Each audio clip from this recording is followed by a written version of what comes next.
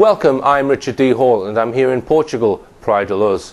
Now the reason why I've come here is because I'm making a series of documentaries about the Madeleine McCann case.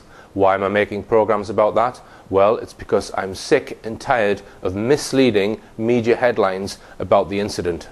In these films, I will expose the hard facts about the incident and also what has happened since the incident. The documentaries clearly show the last place to get truthful information from is mainstream media, and I will also expose those who are controlling mainstream media.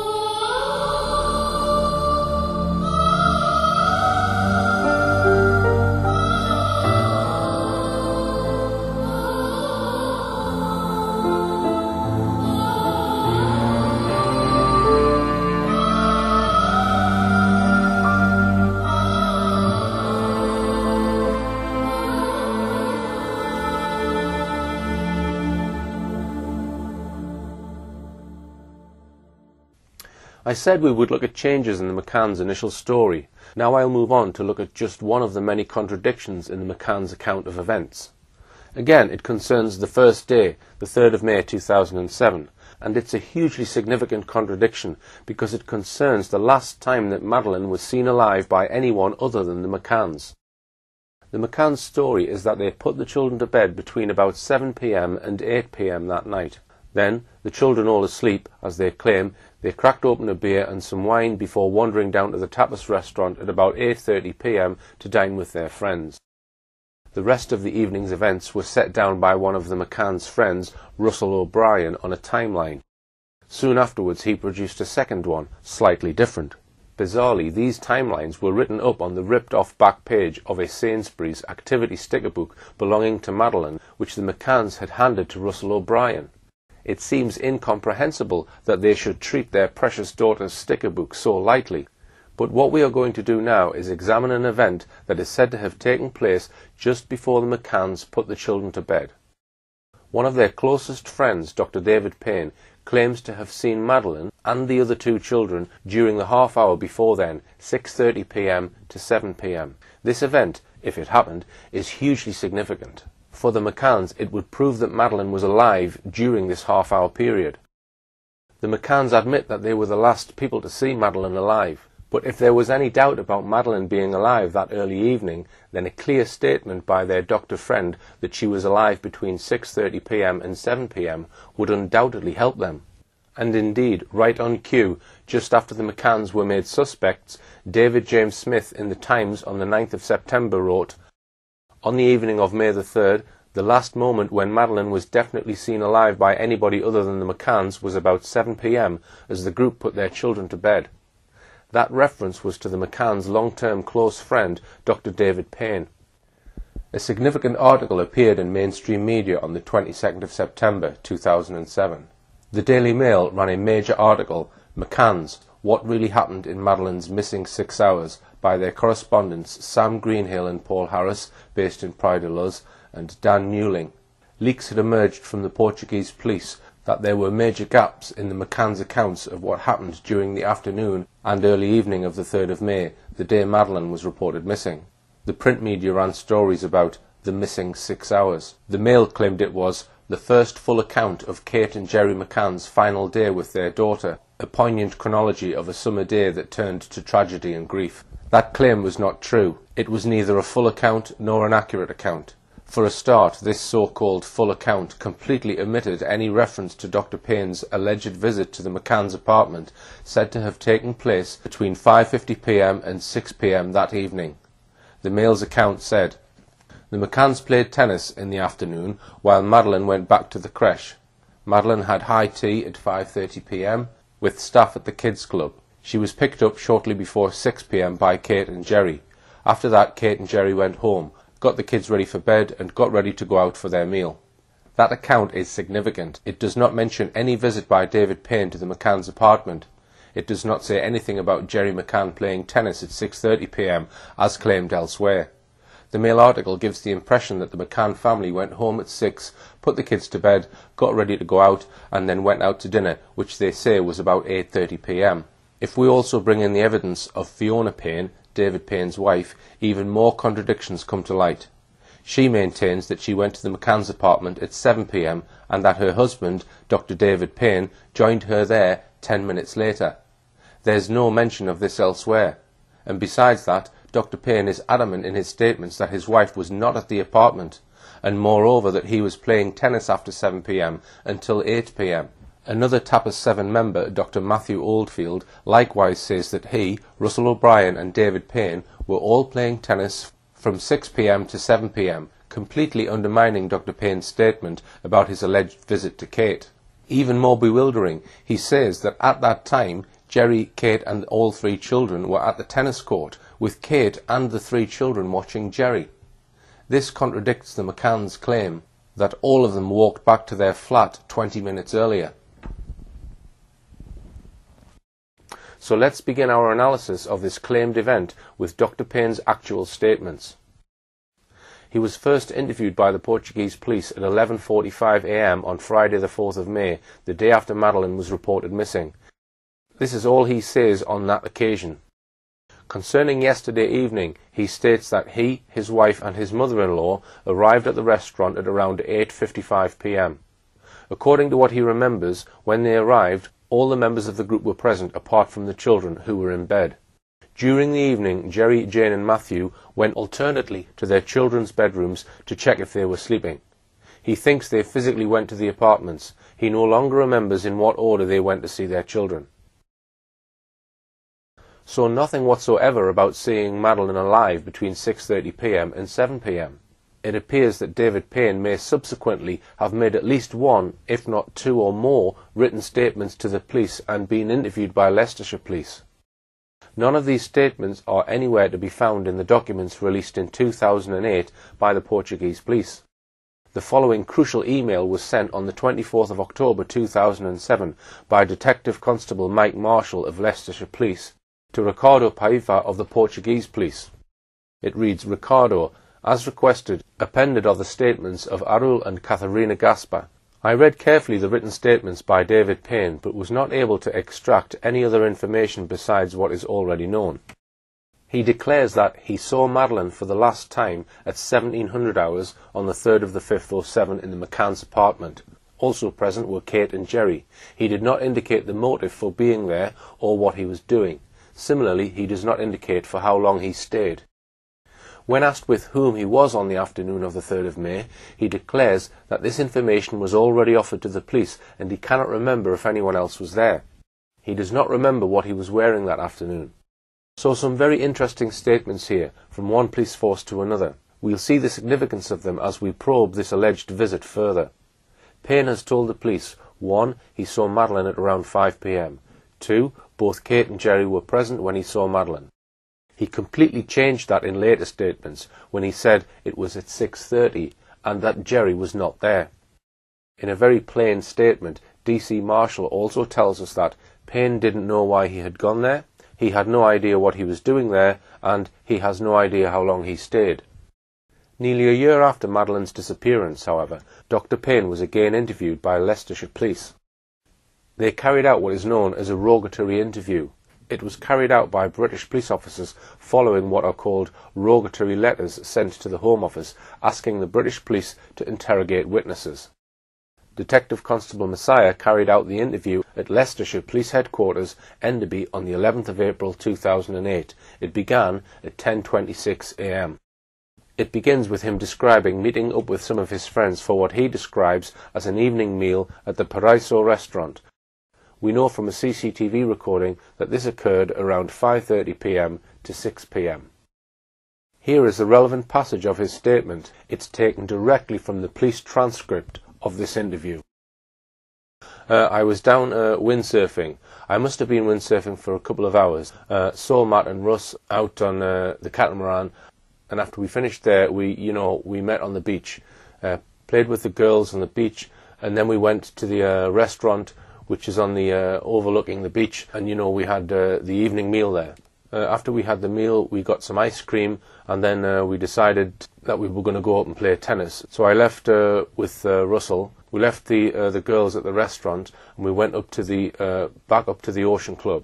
as I say, I'm not sure you know what happened to Matt and Russell at that particular moment, But I remember then, you know, I went over to see Gerry at the, you know, tennis courts just to see, you know, what was happening, and uh, decided that we'd, you know, I'd come back to play tennis, and uh, Gerry had asked me just to pop in and check everything was all right uh, with Kate, or you know, again, I can't remember the exact reason whether he was just making sure it was all right that he could stay there and you know more time, but you know, he'd asked me to pop in.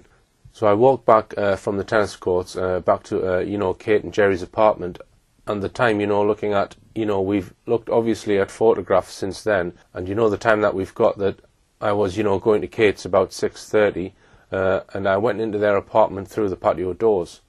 The three children were all, you know, dressed, you know, in their pajamas. You know, they looked immaculate. You know, they were just like angels. They all looked so happy and well looked after and content. And I said to Kate, it's a bit early for the, you know, for the three of them to go to bed. She said, ah, they've had such a great time.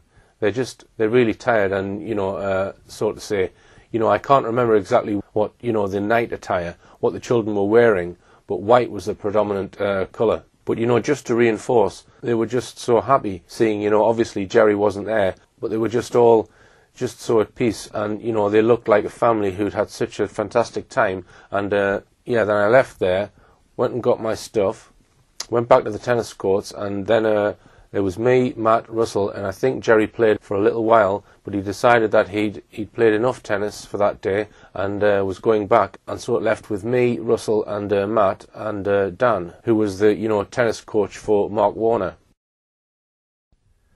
The statement is extremely hesitant. It does not flow as it would if someone was telling the truth. He gives every appearance of thinking very hard about every statement before he makes it. Whilst many of us routinely use ums and ers as we speak, sometimes to give us a short space for thinking, this short passage is remarkable for including 30 ers and 27 you knows. We also have a number of statements of doubt, I think, not sure, and can't remember. But let's look at the main things he says. These are 1. He meets Gerry McCann at the tennis courts. 2. Gerry McCann asks him to see Kate. He can't actually remember why. 3. It was about 6.30 p.m. 4. He walked through the patio doors. 5. The three children were all in their pyjamas ready for bed. They were mostly white in colour. 6. Kate and the children all looked very happy. 7. He went back to the tennis courts. 8. He played with Gerry for a short while and then Gerry stopped playing as he'd played enough tennis that day. The police officer then probes him about how he met Gerry at the tennis courts and about Gerry asking him to see Kate. Payne now becomes even more hesitant. And what was Gerry doing? Uh, Gerry had been, you know, playing, you know, tennis already. He was having a good uh, game, and I think there was, you know, and there were a couple of the other tennis players who had specifically gone there on the Mark Warner holiday to play tennis. And, you know, Gerry was, you know, getting a lot out of the week from the tennis and made friends with those people, and he was having a good time with them. Uh, so, you know, he would basically be playing tennis. Yeah, and at what point did you have the conversation with him? Did he stop the game, or did you speak to him whilst he was playing? I can't remember. I can't remember. I, you know, in my mind, you know, he stopped playing, and you know, but I can't remember if I'm perfectly honest. And how long did you stay and watch the game for? Uh, all I remember is I was having a, you know, a brief conversation with Gerry, uh, you know, and then, you know, I went back I didn't actually stay there for too long because of the time, you know, was ticking by. Uh, but again, these are, you know, as we can see, he cannot remember exactly how this supposed conversation with Gerry McCann actually occurred, nor does he say who was actually playing tennis with Gerry at this time. The police officer presses him about the moment when Gerry is supposed to have asked Payne to go and see Kate. Okay, and it was at what point that Gerry said to you, go, and would you mind checking on Kate? Well, I mean, coming back from the beach, I'd got no equipment to play tennis, you know, etc. So I had to go back to my room to, you know, change into my stuff appropriate for playing tennis in. And uh, so he knew I'd walk up that by and past. So he said, "Well, why don't you, uh, you know, you can just pop in on the way." So it was on the way back from me picking the stuff up. Right. So you've walked past. You've walked past Gerry's apartment to get to yours. Mm, got changed in my mind it was on the way up that I'd popped into Kate, but it could have been on the way back again. I'm sorry. No, it's okay. For my vagueness. But either way, you'd have to walk past because you go the roadside, don't you? Yeah. So you'd have to walk past Gerry's. Yeah. Front door twice, wouldn't you? Yeah. Is that right? So the reason why I think it was more likely that I did it on the way there was because I've called in through the uh, patio. It kind of made more sense that I'd have walked in through the gate and then up through the, you know, where the sliding doors are to say I'm here, rather than going to my apartment, coming back down, coming past the apartment and then coming in the sliding doors. Yeah. Because what I would have done is I'd have got changed and gone downstairs and then knocked on the front door because that, you know, that would have made more sense rather than going all the way around and, yeah, of course. So that's in my mind why it makes more sense that that was on the way up. Analysing this, he is extraordinarily vague about the sequence of events, but he ends up saying that after speaking to Gerry, he went up the flight of steps to the McCann's apartment, then walked through the open patio doors to see Kate and the children, then left, walked on past the front door of the McCann's apartment, got changed into his tennis gear, then walked back past the McCann's front door again and back to the tennis court, where Gerry was still playing. Then there is a passage where the police officer asks Payne to remember precisely what happened when he went to the McCann's apartment. This is how the interview goes. I just want to revisit the going and seeing Kate before we move on. Alright, the reason why I've kept it separate is because I want you to just think now. Mm? And imagine, remember what you saw. Mm? Did you open the door, sliding door, or was it already open? Or uh, I think it was already open uh, you know, as I say, I walked up there. Kate was, you know, I say looking very relaxed, and uh, I say a comment to her, and I said, "Well, crikey, it's early, early for them to be getting ready, you know, for bed." As I say, she said, "Ah, no, I've had such a good, you know, such a good day and afternoon. Uh, so, you know, and Gerry's just obviously finishing off playing tennis, and uh, so, you know, hopefully try and get them down." And as I say, we were just, you know, I know it does sound bizarre, but I just looked at the three of them and I couldn't, you know, they were just so well presented and so clean and immaculate. It was, you know, I was, and, you know, they just looked such healthy children. Uh, you know, there's, you know, nothing that normally, yeah, triggers in my mind like that, but it was just how well that they looked and, uh, try to remember where they were in the apartment.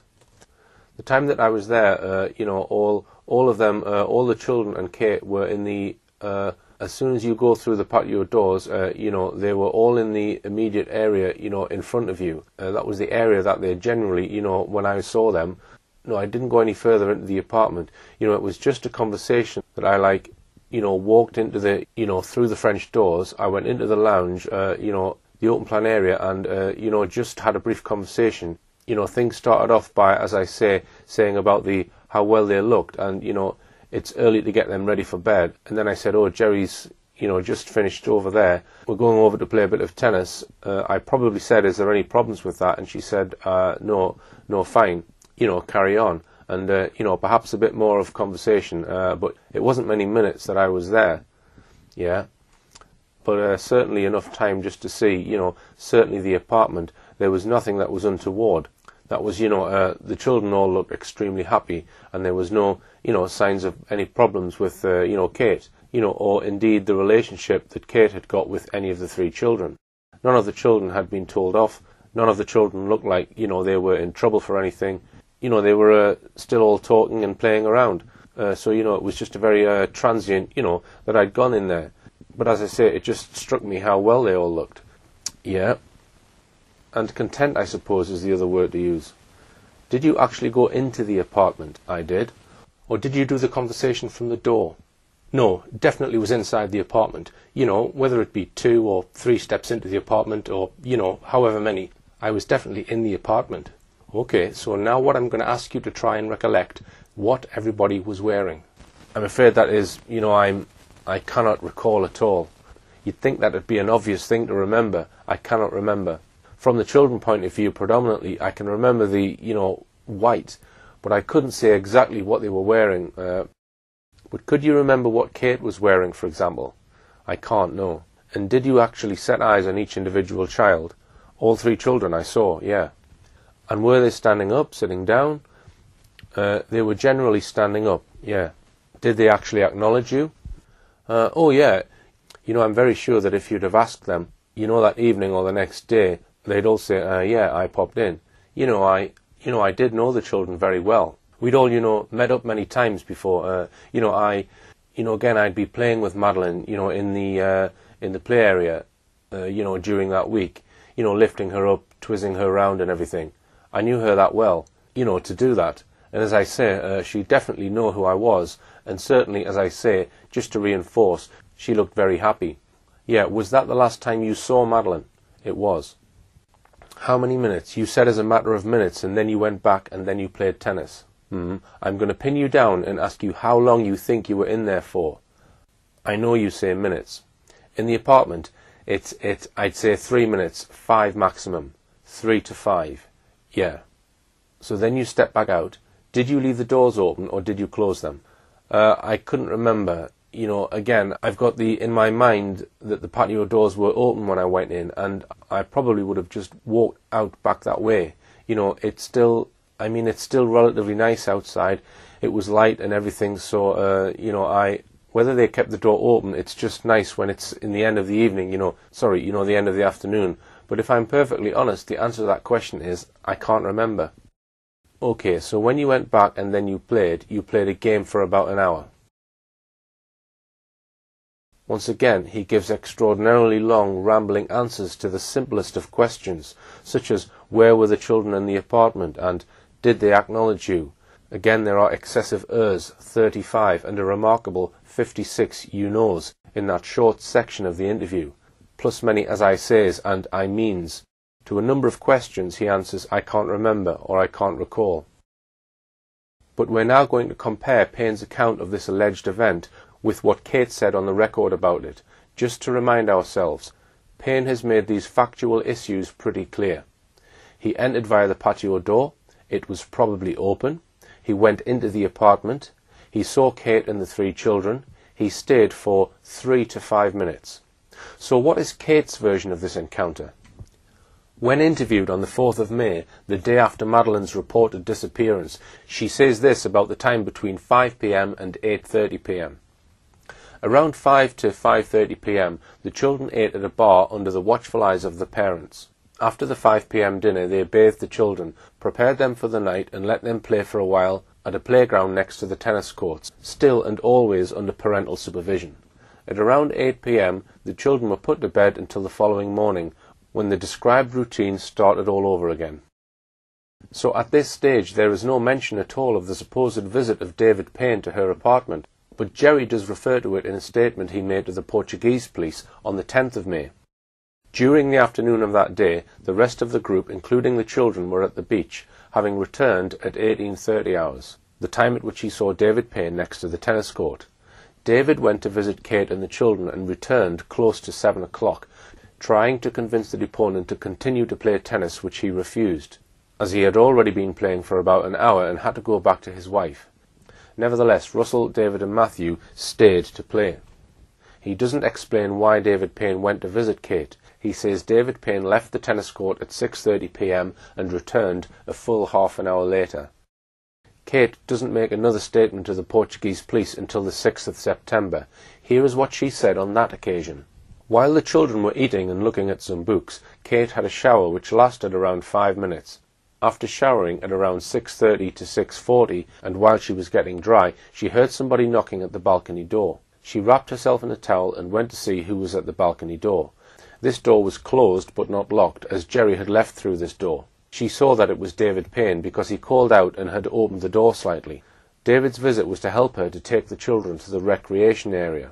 When David returned from the beach, he was with Gerry at the tennis courts, and it was Gerry who asked him to help Kate with taking the children to the recreation area, which had been arranged but did not take place. David was at the apartment for around thirty seconds. He didn't even actually enter the flat. He remained at the balcony door. According to her, he then left for the tennis courts where Gerry was. The time was around 6.30 to 6.40 p.m. After David left, Kate dressed and sat with the children, Madeleine on her lap. So let's look at the contradictions between the two accounts. Payne says he walked through the patio door which was open. Kate says that the door was closed, but Payne had opened it slightly. Payne says that he walked in without knocking. Kate says she heard someone knocking at the patio door. Payne says that Kate was dressed. Kate says she had just come out of the shower and only had a towel around her. Payne says he entered the apartment. Kate says he did not. and that he remained at the balcony door. Payne says he was in the apartment for three to five minutes. Kate says he was not in the apartment but at the apartment and only for 30 seconds. Payne says he saw all three children. Kate doesn't mention this. That's six significant differences altogether. Add to that David Payne's obvious hesitancy and evasiveness and his apparent difficulty in answering a straight question and remembering. Then put into the mix the fact that when questioned on the 4th of May, neither Payne nor Kate McCann mentioned this alleged visit. A suspicion clearly arises that this visit may never have happened and could have been fabricated in an attempt to prove that Madeleine was alive at 6:30 p.m. that day. But quite apart from the doubts we have already examined, there is one other aspect of this alleged event that we need to analyse, and that's the stated reasons by all concerned about why David Payne is supposed to have visited Kate and the children. Let's begin with the statement that Gerry McCann gave to the police when he was made a suspect. Regarding the episode where he spoke to David on the 3rd of May, he says that he was playing tennis at 1830 when David appeared near the tennis court and asked him through the fence if he was going to continue playing. The deponent said he didn't know because Kate might be needing help to look after the three children, even more so because they intended to bring them to the recreation area after their showers. He thinks that David offered to check if Kate needed help, which he did, and returned minutes later. Concerning his previous statement, where he states that David returned half an hour later at around seven o'clock, he says that he returned to the tennis courts after half an hour, as this time frame refers to the second time he returned to the tennis court after dressing up for the game. So, interpreting what is being said here by Gerry, the conversation must have gone very much like this. Payne, are you carrying on playing? Gerry, I'm not sure. Kate might be needing some help. We're going to bring the children down after their showers to watch. Payne, okay then, I'll go and check. Before going on to look at what others have said about this alleged conversation between Gerry and Payne, there's yet another contradiction we need to note. On the 10th of May, Gerry had told police quite clearly that Payne had been gone for half an hour, 6.30 p.m. to 7 p.m. Now he changes his story. This time he tries to say that Payne came back twice. He says that Payne came back a second time, quote, after dressing up for the game. But as we saw above, that's emphatically not what Payne says. He quite clearly explained that he was going from the tennis court to get changed. He says he can't remember if he called on Kate on the way to getting changed or on the way back. He decided it was on the way there that he must have called on Kate.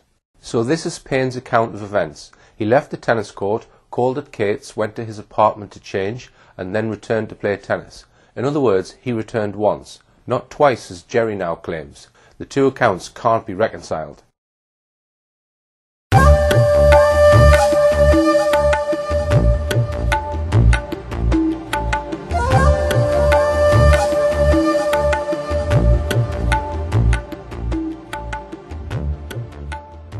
Before we leave this topic, even more contradictions arise when we examine what reasons have been given for Payne visiting Kate. The issue of this alleged visit of Payne to Kate McCann first arose in September 2007, four months after Madeleine's disappearance, when sections of the British press began referring to the missing six hours, a gap in the afternoon and early evening when it was unclear what the McCanns and their friends were doing. The McCann team responded quickly by making various statements about this alleged visit of Dr. David Payne. Neither Kate nor Gerry McCann mentioned the alleged Payne visit in their first statements on the 4th of May, but Gerry McCann did in his second police statement on the 10th of May. He simply said that David Payne went to visit Kate at 6:30 p.m., returned at 7 p.m. to the tennis court, and tried to convince Gerry to carry on playing tennis. Gerry says in his initial statement, I'd been playing for about an hour. I had to go back to my wife. So Gerry tells us nothing about the purpose of this visit, just that Payne went to visit Kate. Kate McCann was interviewed by the Portuguese police on the 6th of September. This was the interview just before the later one, where she was shown videos of the cadaver dogs alerting. At that interview, she exercised her right to remain silent, but on the 6th of September 2007 she answered questions, and this is what she told the Portuguese police. While the children were eating and looking at some books, I had a shower which lasted around five minutes. After showering at around 6.30 to 6.40 p.m., and while she was getting dry, she heard somebody knocking at the balcony door. She wrapped herself in a towel and went to see who was at the balcony door. This door was closed but not locked, as Gerry had left through this door. She saw that it was David Payne, because he called out and had opened the door slightly. David's visit was to help her to take the children to the recreation area. When David returned from the beach, he was with Gerry at the tennis courts. Gerry asked him to help me taking the children to the recreation area, which had been arranged. But this did not take place. David was at the apartment for around 30 seconds. He didn't actually enter the flat. He remained at the balcony door. He then left for the tennis courts. That's different from what Payne had told Leicestershire Police. He had said, I can't remember the exact reason, whether he was just making sure it was all right that he could stay there. In other words, according to Payne, Gerry is supposed to have asked him to go up to his flat and ask Kate, is it okay if Gerry stays down at the courts? The first report in the media about Dr. Payne's alleged visit to the McCann's apartment said this. It is reported that Mr. Payne was playing in a tennis competition which included Gerry on the early evening of the 3rd of May. It is alleged that when he had been eliminated from the competition, Gerry asked him to pop into their apartment and check on Kate. Reports state that Mr. Payne saw Madeleine being put to bed by Kate at 6:30 p.m. If true, this would make David Payne the last independent witness to see Madeleine before her disappearance. Here then a third different reason is given for Dr. Payne's visit. This time it is to check on Kate, not to help take the children to the recreation area, nor to see if Kate would allow Gerry to carry on playing tennis. But now notice even more contradictions. It is claimed here that Gerry was eliminated from the competition. In his various statements to the police, he says nothing about a competition, certainly nothing about being eliminated from anything. On the 16th of December 2007, David James Smith wrote a pompous article about the McCann case, boasting of how he had got the inside story on what really happened to Madeleine from Gerry McCann himself. He wrote, Gerry had knocked up at the start of the 4.30pm tennis drill session, but had decided not to exacerbate an injury to his Achilles tendon, so had dropped out and waited around by the courts. What do we believe? That at 4.30pm he was too injured to play tennis, or that at 6.30 p.m., two hours later, he was merrily playing away in a tennis competition. Quite probably, neither statement is true. Now let's look at another point about this particular statement in the mainstream media. Reports state that Dr. Payne saw Madeleine being put to bed. Saw her being put to bed. Dr. Payne doesn't say that. Kate McCann doesn't say that. Yet there it is in black and white in the mainstream print media. Who put it there? Was it once again the man who claimed he once controlled what comes out in the media, Clarence Mitchell? In her statement to the Portuguese police on the 6th of September, Kate McCann had also said that Gerry and Kate both arrived back at the flat at 5:40 p.m. They both bathed the children because they were tired and needed to go to bed. Gerry went down to play tennis at 6 p.m. They decided the children were too tired to go down to the recreation area. So if that were true, then clearly any claims that Dr. Payne went up to the flat to see if Kate and the children were coming down were utter nonsense, false in fact.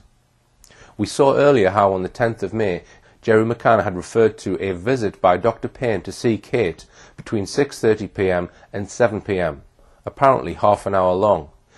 He had claimed in that statement that on returning from his wife, Payne had asked him to carry on playing tennis, but he had refused. But when interviewed by the police again on the 7th of September, Gerry McCann gave an altogether different reason for Payne's alleged visit.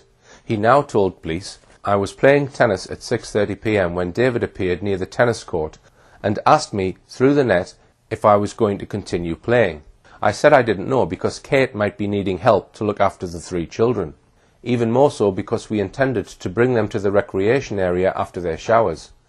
He thinks that David offered to check if Kate needed help, which he did, and returned minutes later. He goes on to explain to the police why he first of all said that Payne was away seeing his wife for 30 minutes, but now was saying that the visit only lasted a few minutes. As we saw just now, he gets out of this by telling the police that David Payne returned twice, and the first time without his tennis gear, the second time with his tennis gear on. So if Dr. Payne really did visit Kate McCann around 6.30pm on the night Madeleine disappeared, for which of the following reasons was it? All these have at various times been given by various witnesses. A. Just for a visit. B. To bring her and the children down to the recreation area. C. To check on Kate to see if she was all right. D. Kate might be needing help to look after the children. E. To see if it was okay for Gerry to carry on playing tennis. Or F. Because Dr. Payne offered to go. So let's now round up our review of this alleged visit of Dr. Payne and his claim of seeing all three children. We examined six key contradictions about the claimed visit. Let's call those contradictions 1 to 6. We've seen another list of contradictions about the supposed reasons for the visit. Let's call those contradictions 7 to 12. But we've now seen a whole raft of other contradictions. Contradiction 13. When was the visit? Payne first of all said it was 5 p.m. Later that was changed to 6.30 p.m. His wife said he got there about 7.10 p.m. Contradiction 14. Was he there at all? Both Fiona Payne and Matthew Oldfield say he was on the tennis courts between 7 p.m. and 8 p.m. Contradiction 15. Statements were made to the media saying that Payne saw the children being put to bed. Neither Payne nor Kate McCann mention this. Contradiction 16. The McCanns say they took the children up to their apartment at 5.40 p.m. and stayed there. Matthew Oldfield maintains they were all on the tennis court at 6 p.m. 20 minutes later. Contradiction 17. Gerry McCann maintains he was at the tennis courts at 6.30 p.m when elsewhere reports say that he and his family were quietly putting the children to bed at that time. Contradiction 18. Payne first of all said that both Gerry and Kate were there when he visited the apartment. Later he changed this to saying it was just Kate. Contradiction 19. Payne says he returned once to the tennis court. Gerry McCann says it was twice. Contradiction 20. Gerry McCann was too injured with an Achilles tendon injury at 4.30 p.m. to carry on playing. An hour and a half later, he was apparently able to carry on playing in a competition. We have examined just one alleged incident in great detail and revealed 20 separate contradictions. That's because it's so important. The last time someone other than the McCanns is supposed to have seen them. The accounts of this alleged visit differ so comprehensively that I suspect most of you will probably agree with me that this visit didn't happen. And if so, what implications does that have for the rest of what the McCanns say about Madeleine's disappearance? If we had the time, we could have exposed so many other changes of story and contradictions in depth. Here's a whole lot more that we could have gone into in the same way. Different accounts of whether both parents were with Madeleine at tea time on the 3rd of May changes of story by Dr. Matthew Oldfield about what he did and what he saw on his alleged check on the children at 9.30 p.m. on the 3rd of May. The McCann's friend Jane Tanner claiming she saw a man carrying a child away from near the McCann's apartment. Then later the McCann's spokesman saying she might have seen a woman. Jane Tanner saying she walked right past Gerry McCann and another holidaymaker, Jez Wilkins. Neither of them saw her the puzzle of why a photograph of Madeleine, said to have been taken by Kate McCann on the last day of their holiday, was not produced for three weeks. Conflicting statements by the McCanns about whether the twins slept in beds or cots the night they reported Madeleine missing, whether the McCanns called their daughter Maddie or Madeleine. There are dozens of them. At the end of the last film, I'll refer you to books, leaflets, websites, forums, and blogs where you can get more information.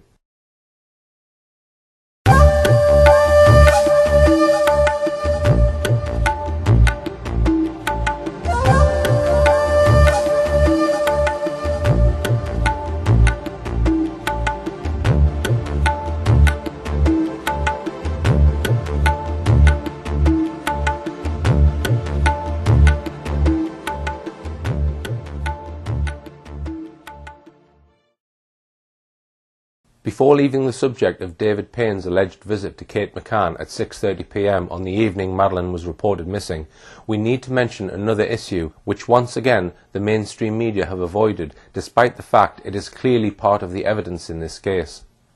This evidence comes from two respected general practitioners, Dr. Katherine Gaspar and her husband, Dr. Savio Gaspar. They had previously been on holiday with the McCanns. As soon as the news of Madeleine's apparent abduction became headline news on Friday the 4th of May, the Gaspars were concerned.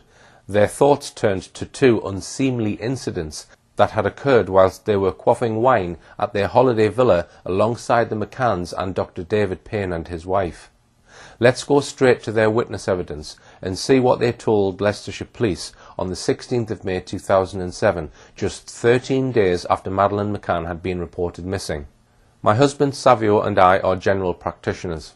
My husband knows Kate as they both attended Dundee University between 1987 and 1992. We got to be close friends of Gerry and Kate. In 2002 or 2003, Savio and I spent a weekend with Gerry and Kate in Devon. In September 2005, me and our first child, aged 18 months, holidayed in Mallorca with Kate, Gerry, Madeleine and their twins, Sean and Amelie, who were only a few months old. There were also other friends of Kate and Gerry there, including Dr. David Payne and his wife. They had a daughter around one year old, Dr. Payne organised the trip. Probably around the fourth or fifth day there was an incident that stuck in my mind. I have thought about this incident many times since then. One night when all the adults were sitting around on a patio outside the house where we were all staying, we had been eating and drinking Berbers. I sat between Gerry McCann and David, and I think both were talking about Madeleine. I remember Dave saying to Gerry something about she, meaning Madeleine, would do this. While he mentioned the word this, Dave was doing the action of sucking one of his fingers, pushing it in and out of his mouth, while with his other hand he was doing a circle around his nipple, with a circular movement around his clothes. This was done in a provocative way. There seemed to be an explicit insinuation about what he was saying and doing.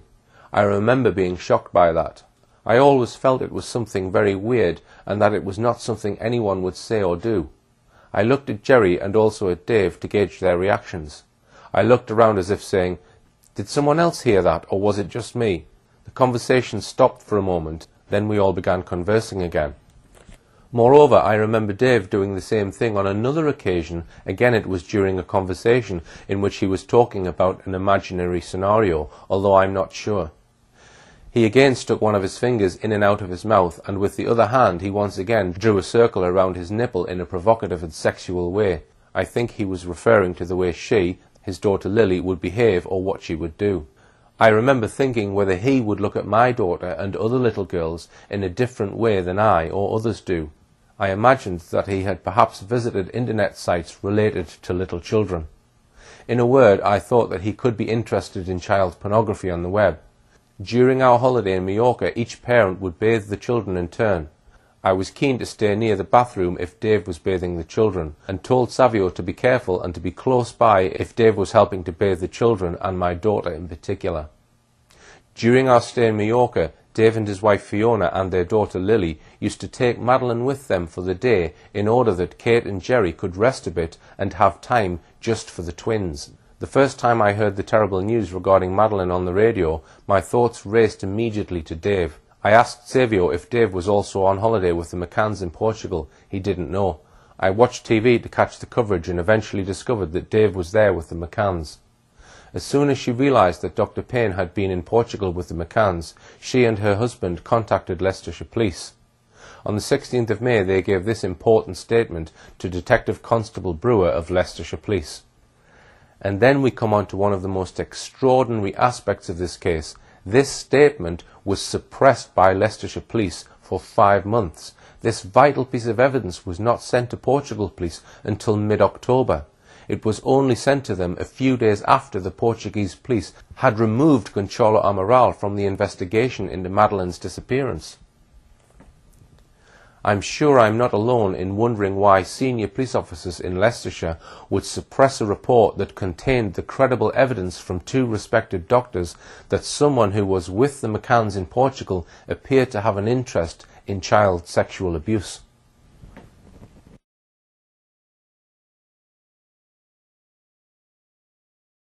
It's time now for us to have a close look at what is arguably the main line of forensic evidence in this case, and one that has caused a huge amount of controversy, namely the evidence of two cadaver dogs brought to Portugal by one of the world's most sought after sniffer dog handlers, British dog handler Martin Grime. In early August 2007, he brought his two dogs to Portugal. One of them, Eddie, was trained to alert to the odour of human corpses, and the other, Keela to blood. As we shall see in detail, Martin Grime told Portuguese police officers that Eddie had detected the scent of death in no fewer than 11 locations associated with the McCanns, while Keela also detected the scent of blood in three of those very same locations. The dogs were deployed on different days, so they alerted to these locations independently of each other.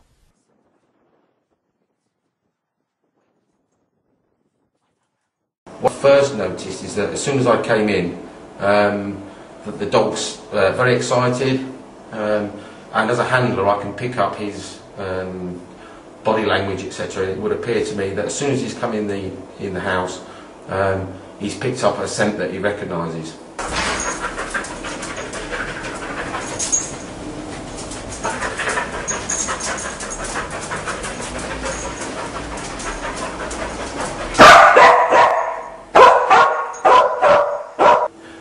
There isn't a scent source in here, i.e.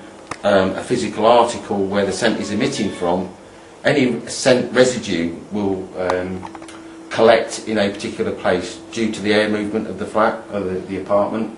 Um, and what I would say in this case is that there's enough scent in that area there for him to give me um, a bark indication. Um, but the source may not be in that cupboard. The source may well be in this room somewhere else, but the air is actually pushing it into that corner. Um, but is is strong indication, um, and um, I would I would say it's positive for um, the things that he's trained to find. And he's decided, yes, that's what I'm looking for, and that's when he's given me the bark indication. Um, what we should understand with this dog is that he only barks when he finds something. He won't bark at any other time. Um, the, the only uh, times I've ever known him bark since I, I got him as a small puppy was uh, A for his dinner, um, and that's just excitement, and, and that's one of the um, training methods we used to teach him to bark when we wanted him to, and when he actually finds something. He won't bark at other dogs, he won't bark at strangers, he won't bark when somebody knocks on the door or, or anything like that. Um, so again, I would say that's a positive indication. Let there be no doubt about what Martin Grimes said his dogs were alerted to. He said, in effect, that his dogs were alerting to the past presence of a human corpse in those 11 locations. As we shall see in a moment, no other corpses had been present in those 11 locations. Therefore, if a corpse really had been in contact with those 11 locations, it could only have been that of Madeleine McCann. But it's necessary also to point out that in his report, Martin Grime acknowledged that the evidence of his dogs alone was not sufficient to prove that a corpse had been in those locations. He said that there would need to be corroboration, in the form, for example, of forensic evidence or the kind of circumstantial evidence we discussed earlier. He pointed out correctly that, quote, Whereas there may be no retrievable evidence for court purposes, these alerts may well assist intelligence gathering in major crime investigations. The dog's alerts alone then could not convict anyone of either killing Madeleine or hiding her body. There would need to be other evidence. And a little bit later, we'll have a detailed look at how the McCanns themselves explained the alerts of Martin Grimes' two dogs. So first of all, who sent the dogs to Portugal? It was actually a combined operation by the Portuguese and British police. By July, two months into the investigations into Madeleine's disappearance, the team of detectives, led by Dr. Gonçalo Amaral, had clearly formed the view that the McCanns and their friends were not telling the truth and were hiding something. They and top British police actively worked on the theory that Madeleine had in fact died in the McCanns' holiday apartment and that the McCanns, perhaps with the help of others, had hidden or disposed of her body. One top British police officer whose opinion was sought was Lee Rainbow, who was then Britain's top criminal profiler employed by the National Police Intelligence Service. He in turn consulted Mark Harrison, who recommended that Martin Grime and his dogs be brought in to search for evidence of past presence of a corpse and of blood in the holiday apartment rented by the McCanns, in the hired car they were using, and on their clothes, and on other personal items. And so Martin Grime was appointed. What were Martin Grime's qualifications and experience for this task, which could determine the outcome of this whole investigation? By the time Grime was assigned to this task in July 2007, he claimed that in over 200 trials, Eddie had never been wrong. If he gave an alert in every single case, a corpse had been in that very location. Eddie's track record included some impressive results. Since 2007, Martin Grime has been involved in several more successful investigations. An outstanding example was a case in the USA.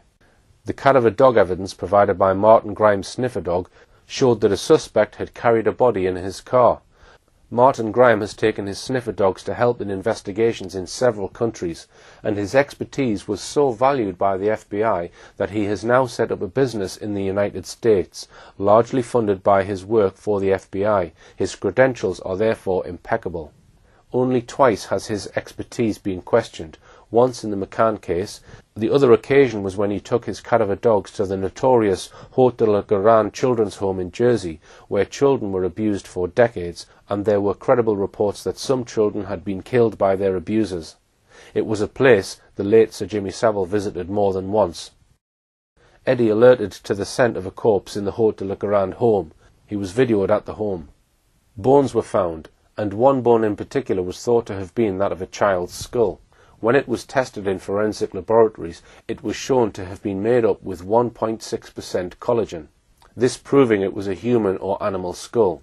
Yet the establishment, aided by the mainstream media, circulated a baseless rumour that the laboratory had said the exhibit was nothing more than a coconut. Some excellent work in exposing the Jersey home child abuse scandal has been carried out by Stuart Syvret of the Jersey Parliament, which shows how the false story of Eddie allegedly alerting to a coconut was concocted. It is a subject we may return to again in another documentary.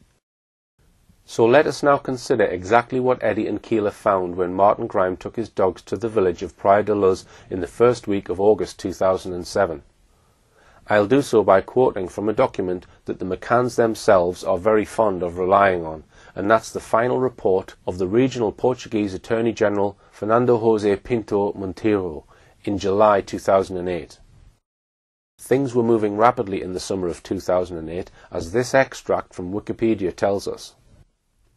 A judgment from Evora Supreme Court of Justice in Portimao was released on the 29th of May and revealed that Portuguese prosecutors were examining several charges including A.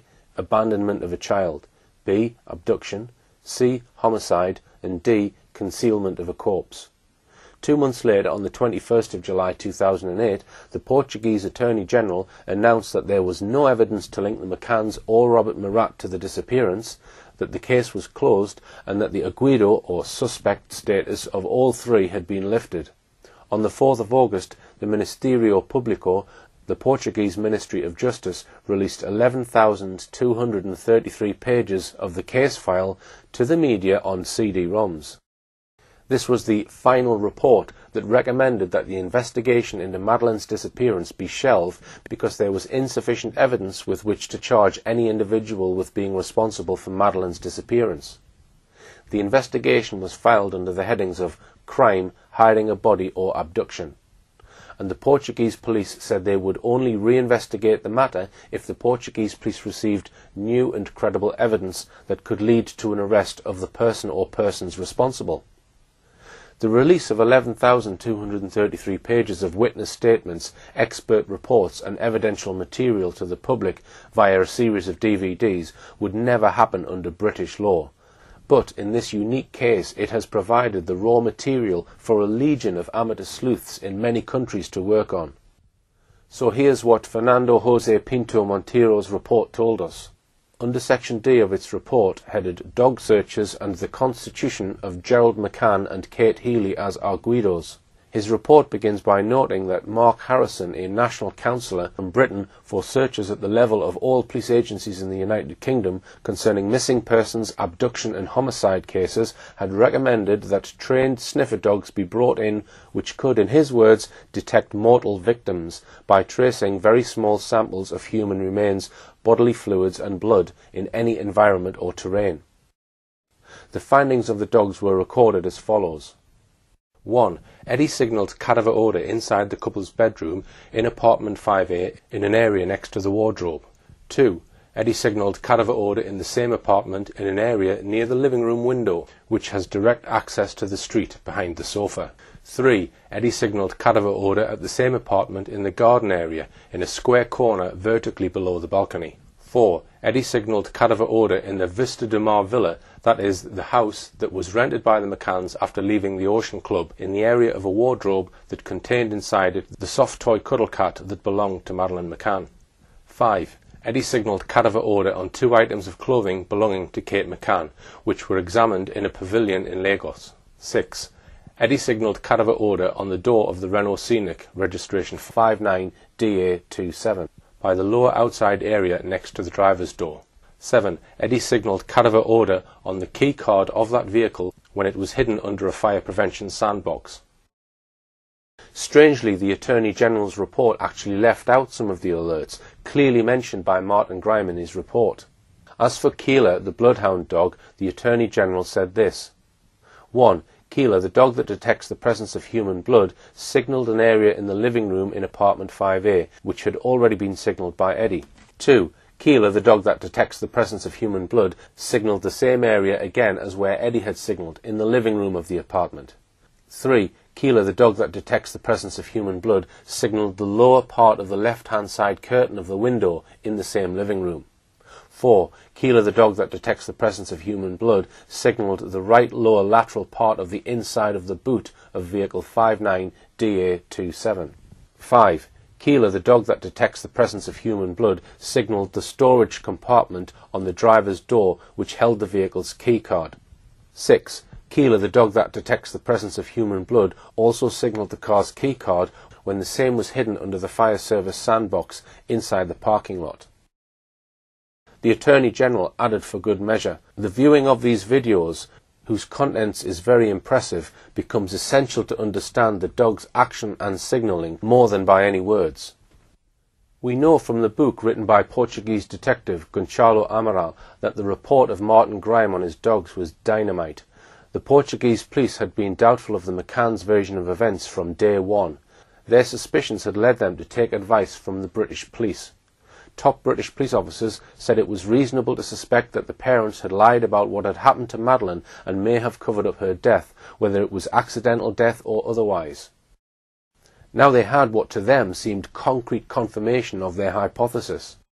At around the same time, they had preliminary forensic results back from samples of blood and blood fluids found in the living room of the McCann's apartment and in the Renault Scenic that they hired.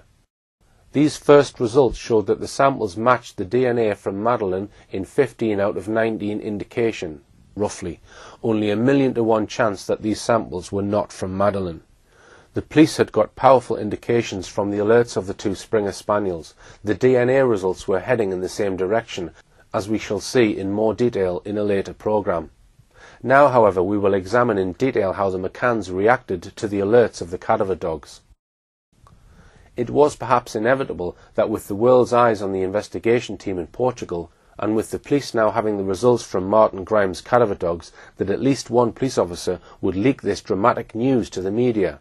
And so it came to pass. It was Monday the 6th of August, barely three months after Madeleine had been reported missing, that a Portuguese newspaper, Jornal de Noticias, dramatically reported that British sniffer dogs had found traces of blood on a wall in the apartment where Madeleine went missing, below the window of the living room near the floor. The McCanns began to react two days later. A person described as a friend of the McCanns, Rachel Oldfield, one of the so-called Tapas Seven, was reported as saying she was disgusted at what appeared to be a deliberate smear campaign against them. She was quoted as saying, I think there are some leaks coming from the police because a lot of what I have read recently has been completely untrue. The following day, the press referred to reports of an increasing backlash against the McCanns, both by Portuguese people and by fellow holidaymakers at the Ocean Club the McCanns retorted that they would not be bullied and forced into leaving Portugal against their wishes. On Saturday that week, the Portuguese police acknowledged for the first time that Madeleine could be dead. Chief Inspector of Police Olegário Sousa told the police that new evidence had intensified fears that Madeleine might be dead, but made a point of saying that the parents were not under suspicion. Less than a month later, that was to change dramatically. The McCanns reacted once again via a family friend by denouncing the police for not having the decency to inform us first about their new theory. Portuguese press reports suggested that the Madeleine McCann investigation had now entered a decisive phase. They were not wrong. Two days later, the McCanns did a round of interviews with Spain's three top-selling newspapers, claiming that there was a very real possibility that Madeleine was still alive. No doubt that took a little bit of organising by their media relations expert, Clarence Mitchell. The leaks continued, suggesting that evidence from the cadaver dog's alerts and DNA test results proved that Madeleine McCann must have died in the McCann's apartment. On the 24th of August, the McCanns were forced to react again, this time attacking preposterous speculation about Madeleine's fate. Gerry McCann says he is disappointed that so much information has been made public despite Portugal's strict judicial secrecy laws. A week later, on Friday the 31st of August, the McCanns announced they were going to sue a Portuguese newspaper, Tal and Qual, which reported, correctly as it happens, that the police believed the McCanns were responsible for their daughter's death. Months later, the magazine folded. The McCanns never sued them. Events soon overtook them. Another week later, on Friday the 7th of September, the McCanns were taken in for questioning by the Portuguese police. They attended voluntarily. They were not arrested, but they were interviewed under police caution. So let's now go to Kate McCann's account of her interview by Portuguese police, where she is shown a lengthy video of the cadaver dog Eddie alerting to the scent of a corpse in the McCann's holiday apartment. On page 248 of her book, Kate McCann writes, Carlos, my solicitor, had advised me not to answer any questions put to me. He explained to me that this was my right as an arguida, suspect, and it was the safest option. Any responses I gave might unintentionally implicate me in some way. On page 249, if I'm honest, I'd been quite nervous about seeing the video of the dogs. I had no idea what to expect, although I was quite sure something couldn't be quite right about the results they had apparently produced. We knew from Bob Small, a Leicestershire police officer, that the responses of specialist dogs were intelligence, not evidence, but in my head I'd built up these film clips into the most damning evidence imaginable. Now Ricardo was giving me his spiel about the dogs. These dogs have a 100% success rate, he said, waving an A4 document in front of me. 200 cases and they've never failed. We have gone to the best laboratory in the world using low copy DNA techniques. I just stared at him, unable to hide my contempt. What did he know about low copy DNA? These dogs had never been used in Portugal before. He knew little more about them than I did. Then Kate McCann describes the video she watched. The dogs went into our apartment, ran around the apartment, jumping over beds, into the wardrobe, and generally having a good sniff. She then describes this significant moment. At one point, the handler directed the dogs to a spot behind the couch in the sitting room close to the curtains. He called the dogs over to him to investigate this particular site. The dogs ultimately alerted. I felt myself starting to relax a little. This was not what I would call an exact science. At this point we can begin to see how Kate McCann is trying to minimize the impact of Martin Grime's report. Here, in a spot between the curtains, behind the sofa below the window, Eddie, the cat of a dog, alerted most excitedly. His nose was certain. There had been a corpse there. Later, Keela the bloodhound located body fluids at precisely the same spot. Contrary to the impression given by Kate McCann in the above passage, the dogs were not together on the same day. They went on different days, so as to get two separate sets of indications from the two dogs. Kate McCann continues on page 250 to pour scorn on the dog's alerts in the underground car park where the McCann's car and nine others were parked. She noted that her car had posters of Madeleine on it. And so the handler, Martin Grime, she says, would have noticed that. In one passage writes, the handler stopped next to our Renault and called the dog. It obeyed, returning to him, but then ran off. Staying by the car, P.C. Grime instructed the dog to come back several times and directed it to certain parts of the vehicle before it eventually supplied an alert by barking. Did you notice that word eventually again? It implies that the dogs only alert anywhere after the dog handler has directed them to spot where he wants them to alert. Continuing down page 250, Kate McCann describes how the Portuguese detective Ricardo Paiva shows her video excerpts of the dog's alerts and then adds that in certain places blood had been found which matched Madeleine's. Kate says, I said I couldn't explain it, but neither could he. She continues, I remember feeling such disdain for Ricardo at this point. What was he doing? I thought, just following orders. Under my breath I found myself whispering, fucking tosser, fucking tosser. This quiet chant somehow kept me struck, kept control. This man did not deserve my respect, fucking tosser. So let's summarize before we move on to other topics. Kate McCann thinks one of the lead detectives on this case is a fucking tosser. Gerry McCann ignores the wealth of evidence that sniffer dogs are used reliably not only for blood and the scent of corpses, but also for drugs, explosives, and even certain medical conditions. He pigeonholes them all as incredibly unreliable, and both of them maintain that the most respected and sought after dog handler on the planet doesn't know what he is talking about, effectively accusing him of gross professional incompetence.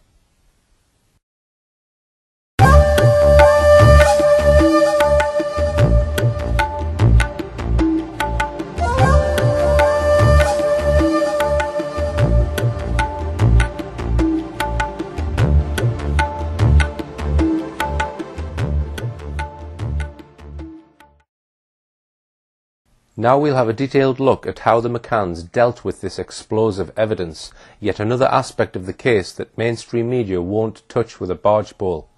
You can judge for yourselves how successful or otherwise they were.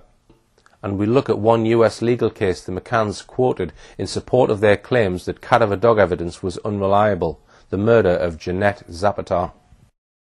And so we come, finally, to how Kate McCann now explains all the dogs alerts, 11 by the cadaver dog and another 5 in the same locations by the blood dog.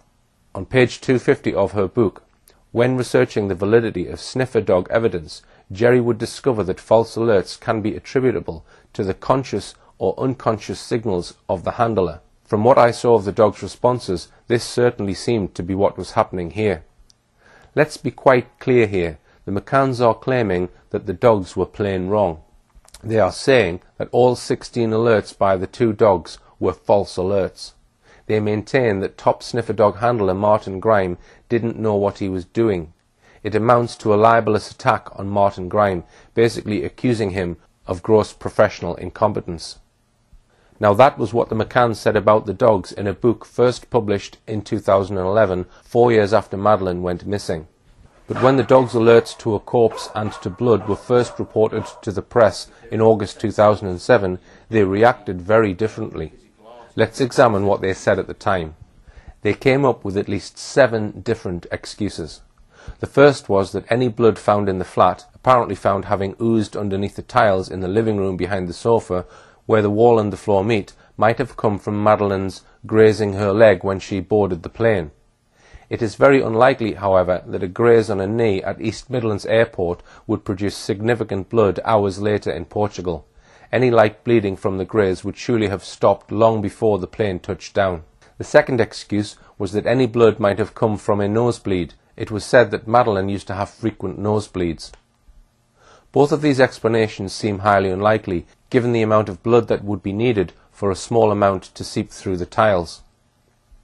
In addition, it is hardly likely that blood from a graze on a knee or a nosebleed would be located at the edge of a room where the wall joins the floor.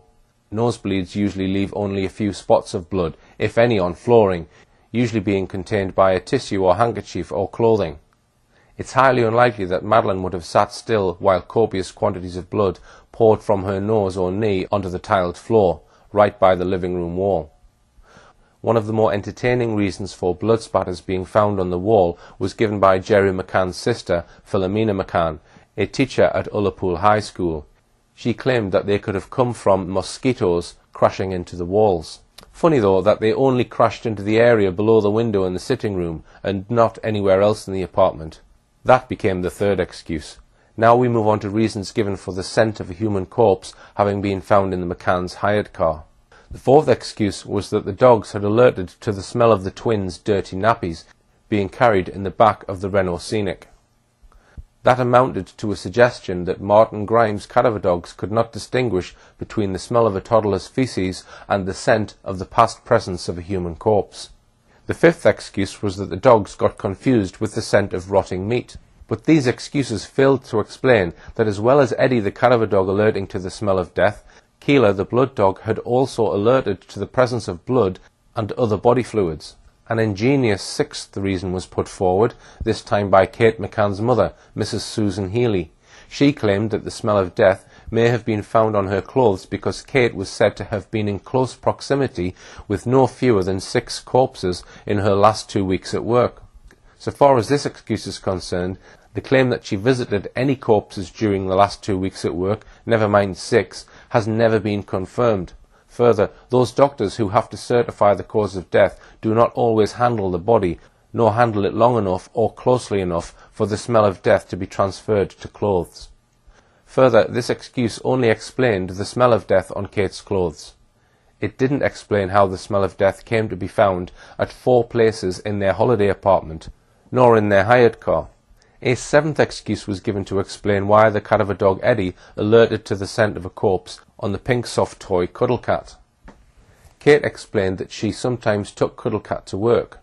A newspaper report, based on sources within the Portuguese police, explained at the time Kate didn't contradict the fact that her two pieces of clothing and the stuffed animal Cuddle Cat had been signalled by the English dogs trained to find cadaver odour. She justified it by her profession. Kate McCann's mother alleged that as a doctor at the Leicester Health Centre, she was directly present at six deaths before she came to Portugal on holiday, giving the same excuse for Madeleine's stuffed animal that was with her in the months after her daughter disappeared. Quite apart from being unlikely that a mother would take a child's favourite stuffed animal to work, never mind having it with her when she was close to corpses. It appears that experts say that it is not usually possible for the smell of death to be transferred in this way.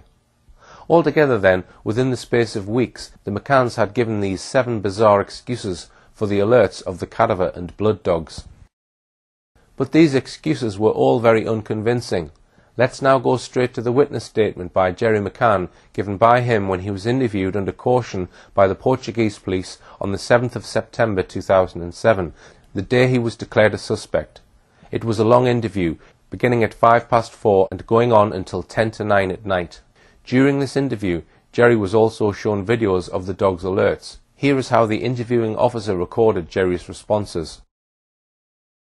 After viewing the films, and after the signalling of cadaver odour in their room, next to the wardrobe and behind the sofa against the window in the living room, he says that he has no comments, neither has he any explanation for this fact. The dog that detects human blood signalled human blood behind the sofa mentioned above. He says that he cannot explain this fact. Regarding the cadaver odour in the car that was rented at the end of May, he says he cannot explain more than he already has. Regarding the presence of human blood in the boot of the same vehicle, he says he has no explanation for this fact.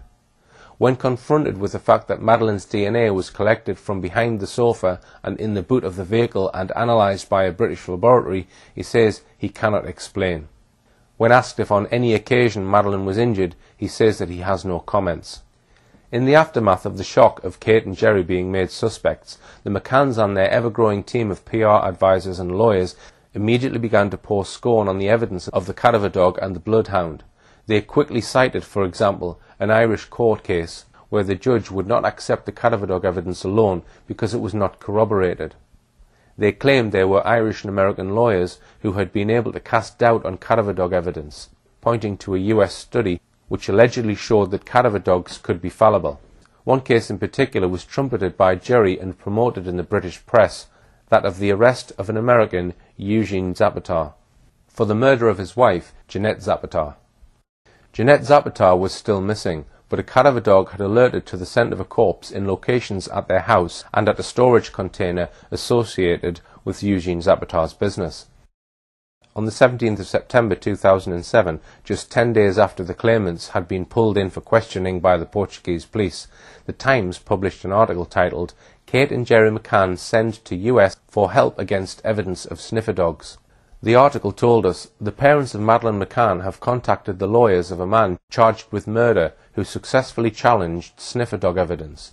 His lawyers claimed it was unreliable and persuaded a judge in the US to throw out Prosecution claims that the dogs had detected the smell of a corpse. Gerry and Kate McCann hope that the case could help them to prove their own innocence. Portuguese police believe that the couple may have killed their child accidentally and then disposed of the body using a car they hired 25 days later. Although the McCanns do not know the full details of the Portuguese prosecutor's case against them, they are concerned that it may rest on the dog's reaction. Now their lawyers have requested the case files from the ongoing murder trial of Eugene Zapata in Madison, Wisconsin. His estranged wife Janet, a 37-year-old flight instructor, vanished in October 1976 after taking her children to school. Her body has never been found. Detectives suspected that Mr. Zapata killed her but did not have enough evidence to go to court. Mr. Zapata, 68, was charged with murder last year after sniffer dogs were brought in. They allegedly detected the scent of human remains in a basement at the former family home. But Dane County Judge Patrick Fiedler ruled that the evidence was inadmissible, saying that the dogs were unreliable. He quoted analysis of the three dogs' performance record, which showed that they were respectively incorrect 78%, 71% and 62% of the time. The judge told the court, the state has failed to convince me that it's any more reliable than the flip of a coin.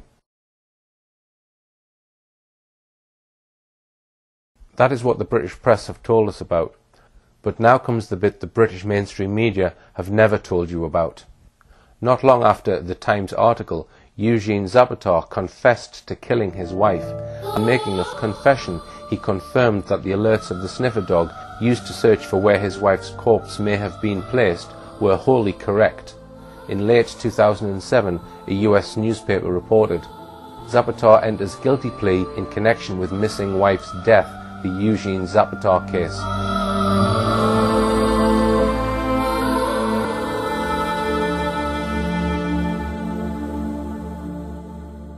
During the past two decades, the ability of sniffer dogs to reliably detect an increasing number of substances has expanded greatly. Wikipedia, for example, tells us that sniffer dogs are used for all these purposes. Wikipedia adds that one notable quality of detection dogs is that they are able to discern individual scents even when the scents are combined or masked by other odours. We know from Martin Grimes that Eddie had never once been wrong in over 200 cases where he detected the smell of death or blood. Cadaver dog evidence has played a part in the conviction for murder of many criminals beside that of Eugene Zapata. Here's a list of some of the cases where sniffer dogs have resulted in convictions or raised major doubts about claims by their parents that their children have been abducted or just disappeared. Finally, what are we to make of the attacks by the McCanns on the professional competence of the dog handler sent to Portugal, Martin Grime? The McCanns have publicly trashed his work on their daughter's disappearance, claiming that the dogs were doing no more than responding to his conscious or unconscious signals. This is the first time that you give us uh, a big interview, uh, not being Arguidos, not being Arguidos since then. Uh, so now I feel free to ask you this directly. How can you explain the coincidence of the scent of, the cadaver, of cadaver felt by British and not Portuguese dogs? Sandra, maybe you should be asking the judiciary because they've examined all this. But don't you have an explanation I mean, we're obviously? Madeleine's mum and dad and we're desperate for people to help us find Madeleine, which is why we're here today. The majority of people are inherently good and I believe the majority of people in Portugal are inherently good people and we're asking them if they'll help us spread this message to that person or people. So you don't have any listening to them. explanation for that? Ask the dogs, Sandra. Ask the dogs, no, Gerry. Now I think that I, I feel free to ask you. Uh, don't you feel free to answer me? I can tell you that we've also looked at evidence about uh, cadaver dogs and they're incredibly unreliable. Unreliable. Cadaver dogs, yes.